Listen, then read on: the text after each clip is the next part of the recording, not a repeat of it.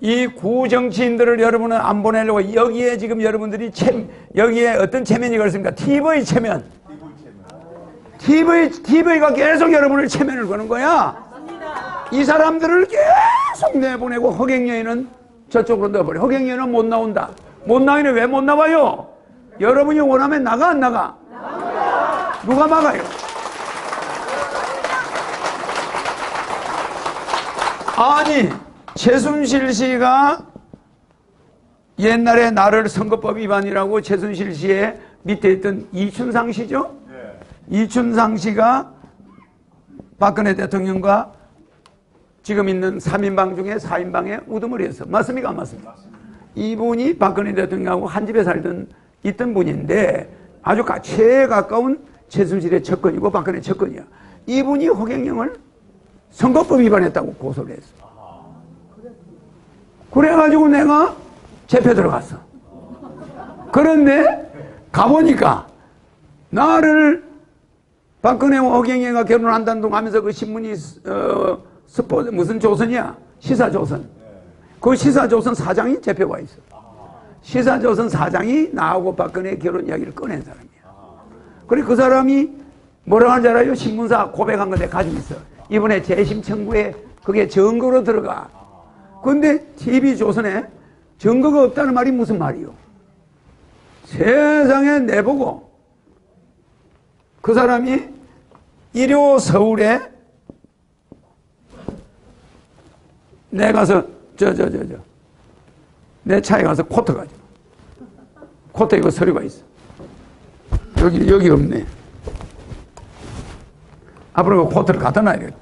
자 일요 서울에 나는 허경영을 누명을 씌웠다 이렇게 해서 일요 서울에 그 사람이 기고 고백을 했어 뭐라는 전에요?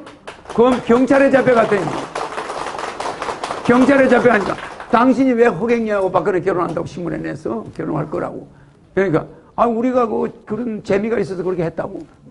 이렇게 하니까 당신 말이야 허경영이가 그랬다고 그래. 그러니까 안 허경영이는 그런 말 한 적이 없는데요. 그러니까 허경영이가 돈 준다고 하면서 그렇게 하라고 그랬다고 불어.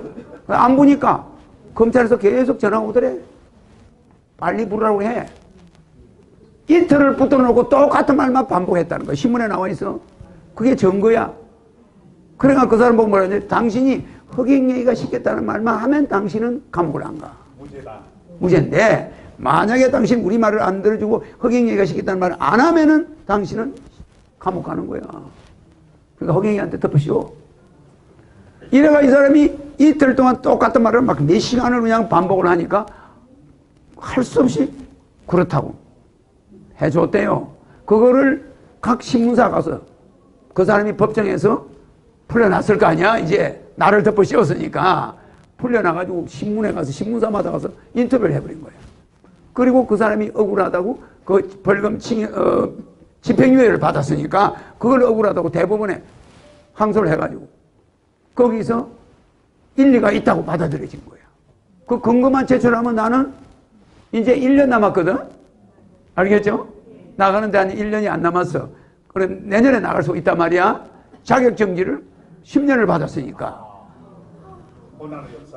자격정지를. 아니, 어, 출마 자격정지를 10년을 받았었지, 그때. 그래서 내가 그동안에 10년간 요새 이 고생을 하고 있었던 거야.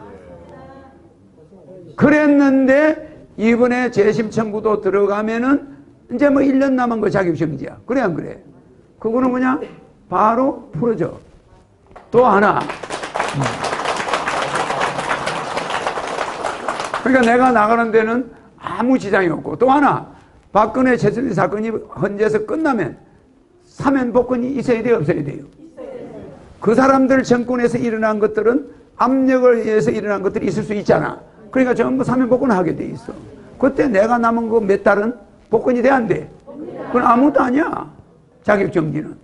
내만 그러냐? 억울한 정치인이 많아요. 그거 다 풀어줘요. 그러니까 100% 이래나 저래나 나가는 거야. 맞습니까? 안 맞습니까?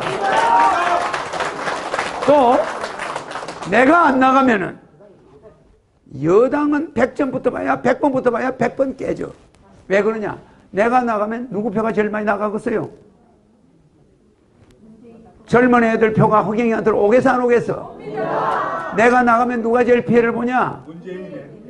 촛불들이 피해를 보게 되는 거야. 맞아 맞아요. 그쪽에 지지하는 젊은이들이 전부 내 광팬들이야. 그래 안 그래요? 내가 TV 토론에 딱 나왔다면 한민족의 역사는 뒤집어지는 거예요.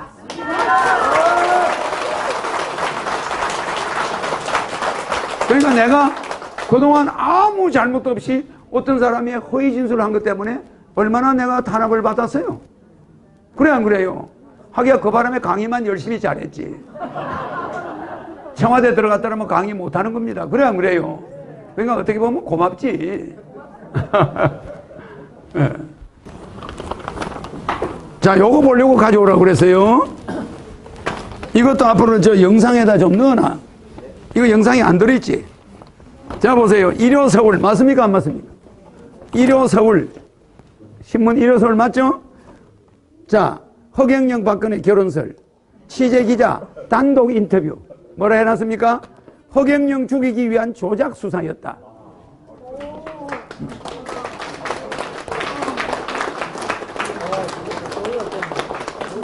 맞죠? 이거 그 나를 진술에 허위 진술한 사람이 양심 고백한 신문이 여러 군데서 나와. 어, 그게 얼마나 희한한 일입니까? 자, 그 다음에 다른 신문에는 또 뭐라 나오냐? 허경영 죽여라. 검찰 조작 수사 실체 드러나. 맞죠?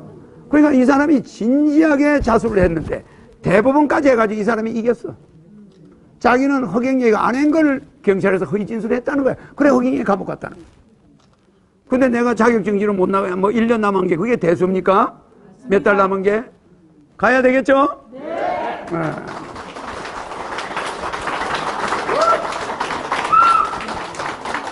이게 신문에 이렇게 다 이렇게 나와 있어. 여러 신문에 나오면 이거를 증거 자료로 법원에 제출을 했는데 다른 사람들은 그 텔레비 나온 사람은 허경영이 증거가 없다 이러는 거야. 그 얼마나 그 웃기는 사람이야. 여기 보니까 그 사람이 대법원에 제출한 서류에 증거가 수두룩해. 거기서 이겼어 그 사람이.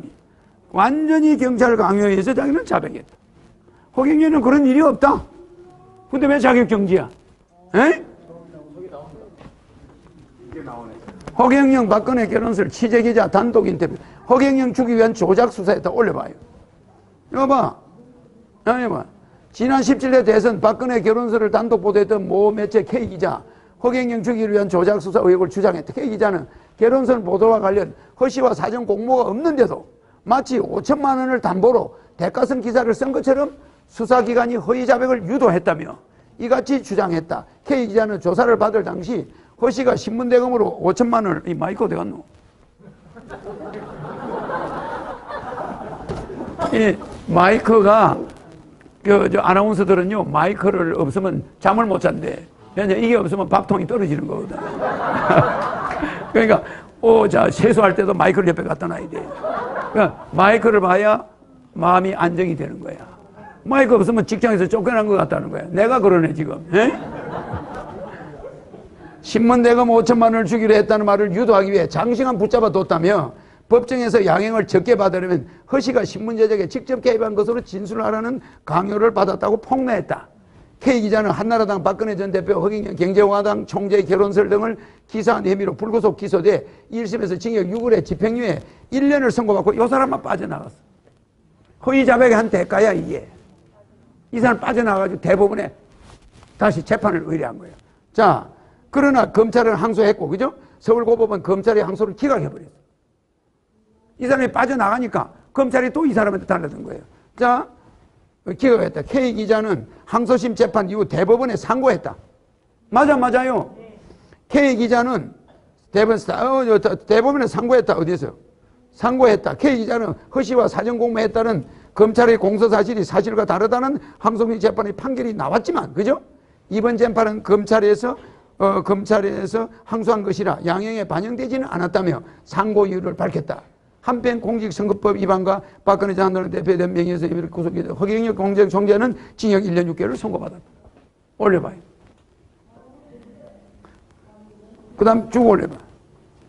자, 좀 내려봐. 어. 자, 자, 조금, 조금 내려봐. 조금 내려. 내려, 내려. 반대로. 자. 자, 보세요. K 기자는 1호 서울과 단독 인터뷰에서 수사기관에서 신문대금 5천만 원이라는 금액이 허경영 입에서 나왔다는 진술을 얻기 위해 2시간 동안 같은 질문을 되풀이해 조사받았다고 주장했다. 그는 수사관에게 허경 씨가 하지도 않은 말을 했다고 진술을 하라고 하면 되겠느냐? 나는 그런 말을 듣지 못했다고 말했으나 계속해서 같은 질문을 되풀이하기에 원하는 대로 진술해주면 되느냐고 항변했다고 당시 상황을 설명했다. 모함한 거 증거 있어 없어요? 그런데 왜 그 신문에 TV조선의 그 패널은 알지도 못하고 이런 대법원의 항, 항소한 기록이 있어 없어요? 대법원 상고한 기록이 분명히 있고 그 증거 서류가 다 있어. 나는 그런 일을 한 적이 있어 없어요?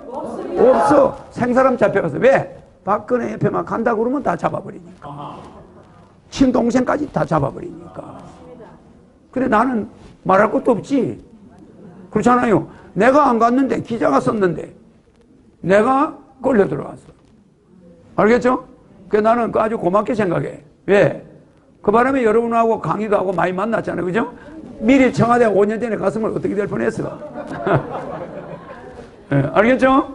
이런 것이 다 있습니다. 신문에 여러 군데 이 사람이 인터뷰를 해버렸어요.